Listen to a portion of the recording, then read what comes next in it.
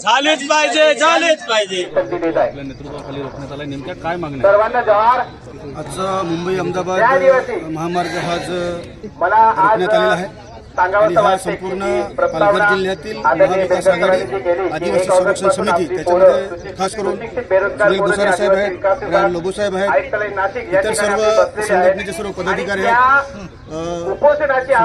कराड इथे उपस्थित आहेत. सर्वच पदाधिकारी इथे उपस्थित आहेत. आणि गेल्या एक ऑगस्टपासून महाराष्ट्रात संपूर्ण महाराष्ट्रातून नाशिक येथे पेशा भरती व्हावी. सतरा. संवर्गातील जी पद आहेत ही सरळ सेवेने भरती करावी. अशा प्रकारची माग. घेऊन नाशिकमध्ये उपोषण अ, आणि इथे ला मुलं बसलेले आहेत. आणि त्या? अनुषंगानेच नाशिकमध्ये आमची सर्व पदाधिकाऱ्यांची बैठक झाली त्या बैठकीमध्ये असा निर्णय घेण्यात घेण्यात आला.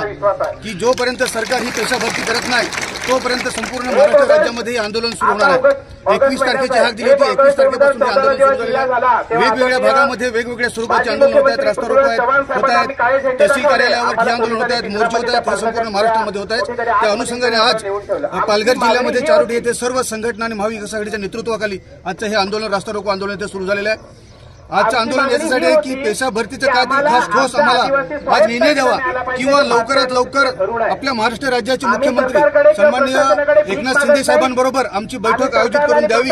हा खास उद्देश आहे आणि त्या बैठकीमध्ये सकारात्मक निर्णय होऊन आमची जी मुलं गेल्या पाच दहा वर्षापासून या नोकरीची वाट बघतात. फक्त नोकरी म्हणून नाही तर त्याला दुसरा सुद्धा भाग आहे. की आमच्या ग्रामीण भागामधील जो आदिवासी विद्यार्थी आहे त्याचं शैक्षणिक नुकसान फार मोठ्या प्रमाणावर होत आहे एका वर्गा एका शाळेमध्ये आठवीपर्यंतच्या शाळामध्ये एक शिक्षक आठवीपर्यंतची शाळा शिकवतो याच्यातून आपल्याला जाणवतं की या मुलाची शैक्षणिक गुणवत्ता किती वाढणार आहे हे आपल्याला दिसतंय. खरं म्हणजे आम्हाला असं वाटतंय की आज आम्हाला आदिवासी समाजाला शिक्षणापासून बाहेरच ठेवण्याचा हे षडयंत्र आहे सरकारचं किंवा अशा प्रकारचे कटकारस्थान आहे असं आम्हाला याच्यातून दिसून येत आहे म्हणून हे आंदोलन तोपर्यंत चालू राहील जोपर्यंत आम्हाला ठोस इथे निर्णय दिला जात नाही तोपर्यंत आंदोलन चालू राहील. आणि लवकरात लवकर मुख्यमंत्री महोदयांची आम्हाला वेळ निश्चित करून दिली पाहिजे लवकरात लवकर. ही आजची मागणी आहे. आंदोलन आमचं सुरू राहील.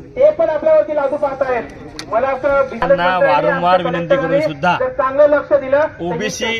संघटनांनी जे काही अपील या पेशा भरतीच्या विरोधामध्ये केलेलं आहे त्या दोन्ही. पक्षकारांना त्या ठिकाणी एकत्र बोलून याचा निषेध करतो एक बैठक घेऊन हा विषय आला असता परंतु. मागचे दोन महिने.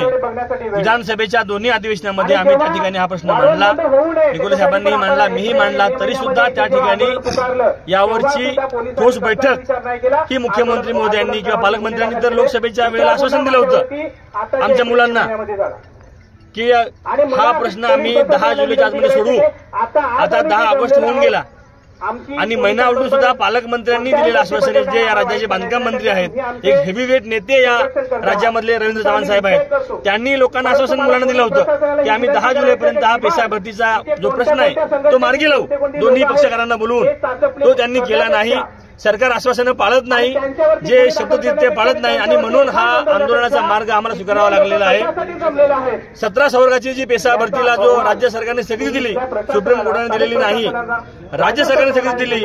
त्यामध्ये राज्य सरकारच्या माध्यमातून मुख्यमंत्र्यांनी बैठक घेऊन खरं म्हणजे तो मार्ग काढला पाहिजे होता. परंतु गेले दोन महिने सातत्याने वेगवेगळ्या बैठका करून सुद्धा याहून कुठला मार्ग निघाला नाही. सरकार आम्हाला त्या ठिकाणी टोलवत ठेवत आहे असा आमचा समज झालेला आहे. आणि आमची जी मुलं आहेत जे याच्यामध्ये पात्र शिक्षक आहेत त्या शिक्षकांना त्या ठिकाणी भरती थांबवल्यामुळे त्यांचं वय हे निघून जाण्याच्या म्हणजे एजबार होण्याच्या मार्गावर आहे. आणि म्हणून त्या ठिकाणी आज सर्व समाज सर्व संघटना आमचे महाविकास आघाडी सर्व घटक पक्ष त्या ठिकाणी रस्त्यावर उतरलेले आहेत.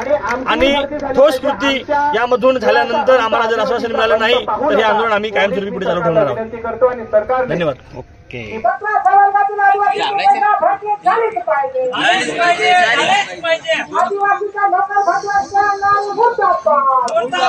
मुर्दाबाद.